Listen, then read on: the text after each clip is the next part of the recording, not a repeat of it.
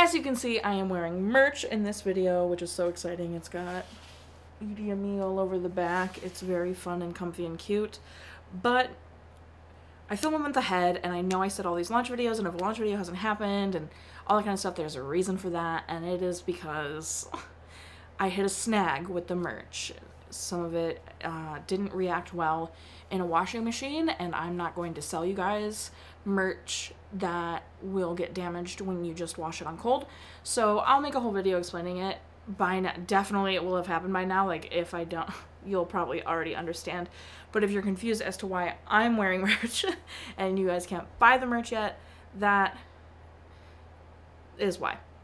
Because hoodies haven't been damaged. It's a whole thing. So sorry.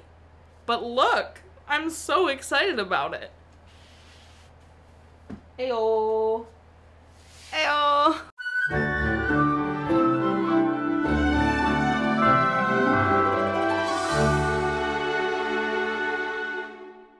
Welcome back to Every Disney Movie Ever. My name is Jess and I'm watching Every Disney Movie Ever. Today I'm going to talk about Air Bud. Air Bud is a 1997 theatrical release. It is directed by Charles Martin Smith, cinematography by Mike Southon, editing by Alison Grace, music by Brahm Wenger, and it's written by Paul Tamasy and Aaron Mendelsohn. Charles Martin Smith I've covered in the video about Herbie Goes Bananas. The link will be in the description. Mike Southon is best known for Replicant, Snow White, A Tale of Terror, Guns N' Roses, November Rain, and Bandito. Alison Grace is best known for Moonstruck, Double Happiness, The Lotus Eaters, and Intelligence. Brahm Wenger is best known for Hollow Point, The Search for Santa Claus, Mac and Moxie, and The Duke. Paul Tamasy is best known for The Fighter, Patriots Day, Walking Across Egypt, and The Finest Hours. Aaron Mendelsohn is best known for The 12 Dates of Christmas, Like Cats and Dogs, A Change of Heart, and this. The film stars Kevin Zegers, Wendy Makkena, Michael Jeter, Bill Cobbs, and Buddy the Dog. Kevin Zegers plays Josh and is best known for Transamerica, Dirty John, Fear the Walking Dead, and Dawn of the Dead. Wendy Makkena plays Jackie and is best known for Sister Act 1 and 2, State of Play, and this. Michael Jeter plays Norm and is best known for The Green Mile, Open Range, Evening Shade, and Jurassic Park 3. Bill Cobbs plays Arthur and is best known for Demolition Man, That Thing You Do, Oz the Great and Powerful, and The People Under the Stairs. Buddy the Dog plays Buddy slash Airbud. The film had a $3 million budget and made $27.7 million in the box office, which is very good for the movie. It's not a great box office score at this time, but it's really good for the movie. The movie made, you know, seven times its budget, which means it definitely made a profit, and that's all that really matters for Airbud in the grand scheme of things. It has a 45% on Rotten Tomatoes.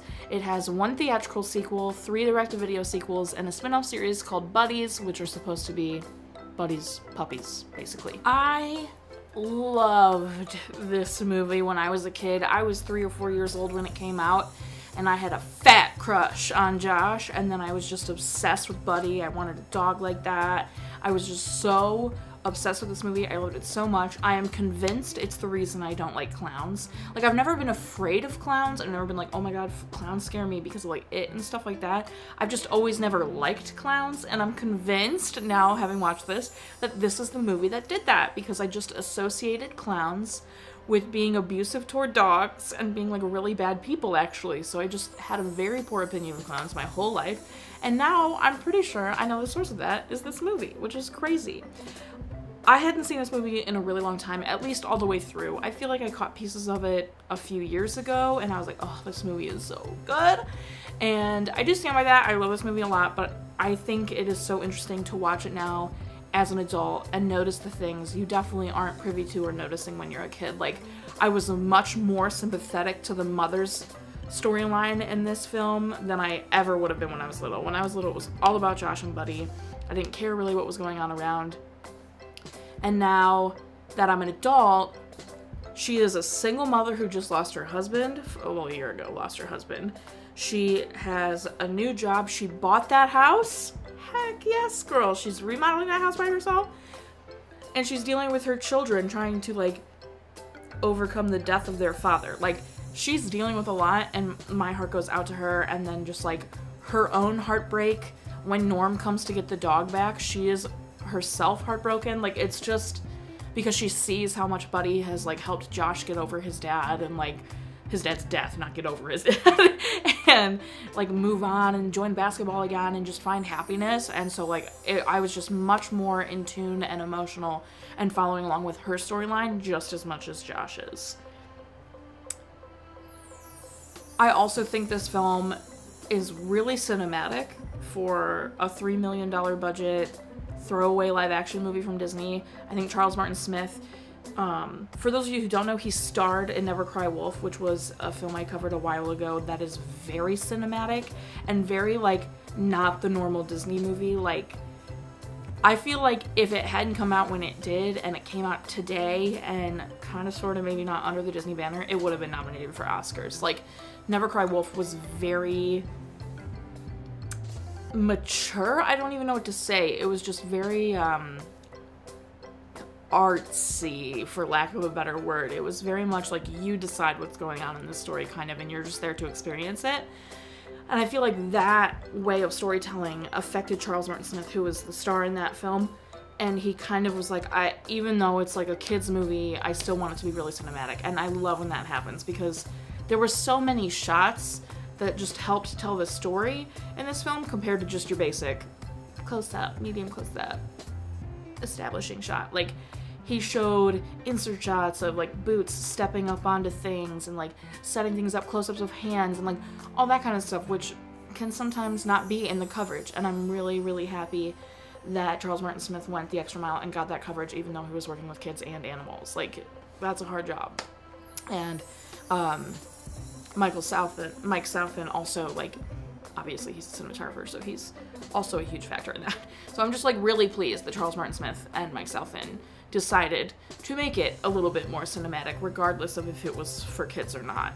And I think the film accomplishes what it's trying to do. I cried. There is a parent death, as I've said now, and it's also funny watching as an adult because you notice things like when Buddy comes down and messes up that entire room she's redoing, like the wallpaper and the paint and all that, she just got home from work. And then Buddy goes in that room and causes havoc, and the paint cans were open. And I was like, no, no. You can't leave paint cans open because the paint will dry. Paint will dry out and be no good. So she was at work all day, those paint cans most certainly were not open in that room. So that scene is a little bit like of a plot hole. Like there's no way he could have caused at least the paint splattering everywhere havoc. He could have definitely knocked everything down, which would have been havoc. But there's no way those paint cans would have been open, so I think it's funny to notice that kind of stuff. Um, what person hits an animal crate in the middle of the road and doesn't get out to make sure they haven't just killed an animal in a crate? They do that right at the beginning of the movie, and I was like, excuse me? like, if I hit an animal crate, I'd be out of my mind. I would have been jumping out that car like, did I just kill a cute little animal? Oh my goodness, I can't handle this. So unbelievable. I couldn't believe that part. Um, the music is also so good. I'm so obsessed with just some of the technical storytelling aspects of this. Um, oh, the abusive coach. That's what I wanted to talk about.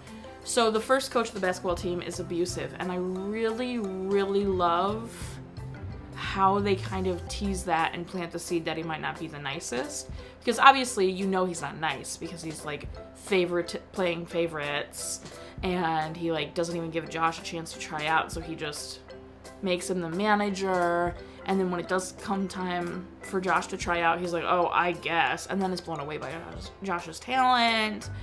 And then during the scene when Josh is finally on the team and that one kid misses up the ball to catch it, the looks exchanged between the coach and that kid, you can see the fear in the kid, you can see the quiet infuriation in the coach, and the way that that was edited together and shot was so well done that you just know something's not right. And that kid is afraid of his coach more than like a healthy afraid of being yelled at. Like he's afraid. And so then when Buddy goes and finds him like abusing the kid by throwing the basketballs at him and making him bleed and stuff, it's that much more like, oh, this is what's going on. And like I really loved that. I love the teasing of that. I love the foreshadowing of that.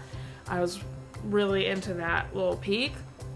And then a dog playing isn't against the rules, and I was laughing at that this time because, like, of course, a dog playing isn't in the rule book because no one in their right mind ever thought a dog would play basketball. So, like, they get around that with a loophole because, like, who would put in the rulebook only humans are allowed to play basketball. Like, no one would put that in the rulebook, so that made me giggle. That's everything I have for Airbud. It is cheesy, but it is still a classic in my mind.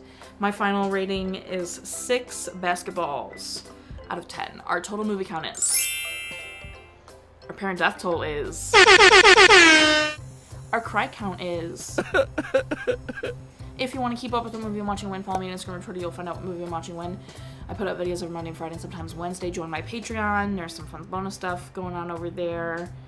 Always go check that out because they get coupon codes to merch.